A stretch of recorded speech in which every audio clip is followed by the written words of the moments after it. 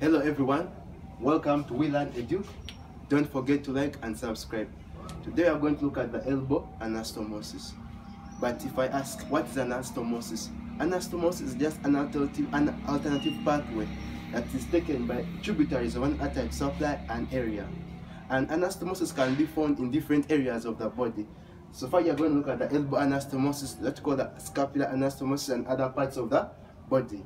Now, starting with the elbow anastomosis now. The elbow anastomosis is made mainly by the brachial artery, which is a continuation of the axillary artery, which also comes from the subclavian artery. Now, this brachial artery is here. Let me name it. So this is our brachial artery. The brachial artery. This is the brachial artery up to this point where it bifurcates to give the main branches, that is the ulnar artery and the radial artery. But this brachial artery first gives off this branch. This is the profunda brachii artery, which is a deep artery. Profunda brachii. So this profunda brachii is a deep branch which continues, as you see, to give off the middle collateral artery. This is the middle collateral artery and this one is going to be the continuation of the profunda brachii is the uh, now as it comes gives us this middle collateral artery and its continuation which is going to be the radial collateral artery now this brachial artery continues to give off this other branch which is the superior ulnar collateral.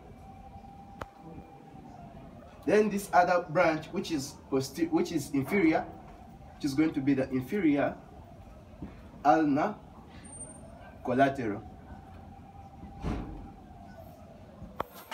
Now as it continues i've said it gives off the ulnar artery and the radial artery. Now, this ulnar artery, which where it bifurcates in the cubital fossa, it gives off this first branch.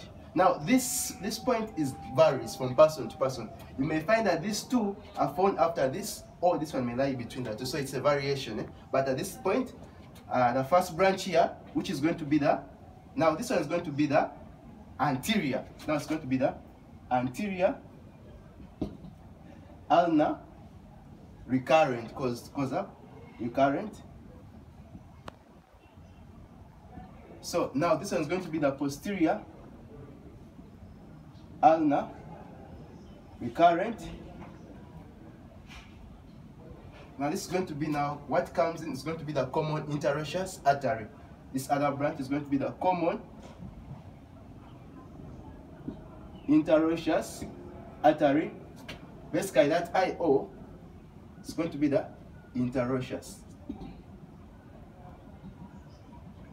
it's going to represent interosseous now this common interosseous artery which is this it's going to give us this first branch and this is going to be the posterior and anterior interosseous artery. So it's going to be our anterior interosseous artery.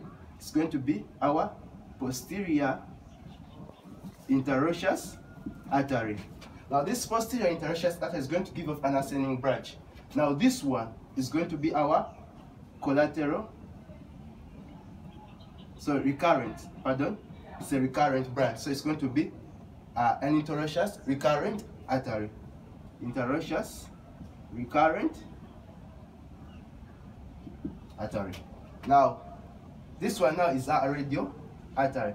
Now this radial artery is going to give us an ascending branch. Now this ascending branch is going to be the radial recurrent artery.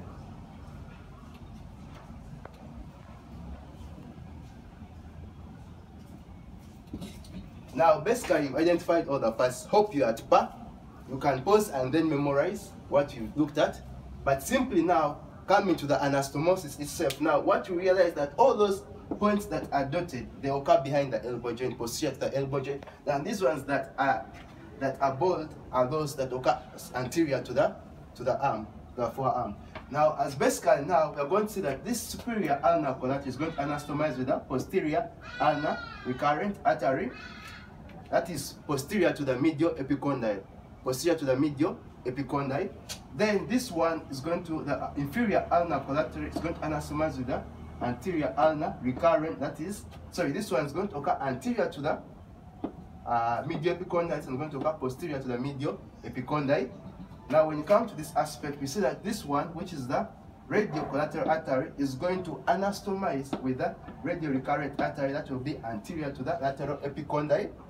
This one is going to occur, the interosseous recurrent artery is going to anastomize with the medial collateral artery, that is the posterior aspect of the arm. Best now, this one continues. Now, this is what called the elbow anastomosis. And I told you the significance that in case there comes to happen a blockage at this point, realize in case there's an embolus occurring at this point a clot, we see that there will be an alternative route that will be taken by the radial collateral artery or if it occurs at this point, other path will be open. So there will not, there won't be the ischemia of a body region. So it's a protective mechanism in the human body. So at this point, thank you for watching. Don't forget to like and subscribe. Thank you.